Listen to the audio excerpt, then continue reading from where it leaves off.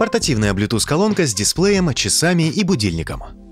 Распакуем беспроводную колонку Edifier MP260. В комплекте с ней идет зарядный кабель microUSB, аудиокабель 3,5 мм и документация. Это небольшая портативная модель в деревянном угловатом корпусе. Габариты 20 на 11 см при весе в 1,3 кг. Снизу предусмотрены 4 устойчивые прорезиненные ножки. Под пластиковой несъемной решеткой спрятаны три динамика. Два 45 мм твиттера по 4 Вт и 7 сантиметровый низкочастотный динамик мощностью 12 Вт. Сверху видим черную пластиковую надстройку. С лицевой ее стороны находится дисплей. Он отображает время в 12-часовом формате, уровень заряда и активный вариант соединения. Яркость дисплея автоматически регулируется в зависимости от уровня освещения. Панель управления расположена сверху. Здесь несколько прорезиненных кнопок для включения и выключения устройства, Bluetooth сопряжения, управления музыкой, часами и установки будильника. На тыльную сторону пластикового блока вынесены разъемы. К колонке можно подключиться по Bluetooth через аудиокабель, а также воспроизвести музыку с microSD и USB флешек. Микро-USB тоже имеет двойное назначение. Через него колонка заряжается и подключается к ПК. Встроенный аккумулятор обеспечивает до 7 часов автономной работы прибора, а для полной зарядки потребуется 2-3 часа. Подытожим.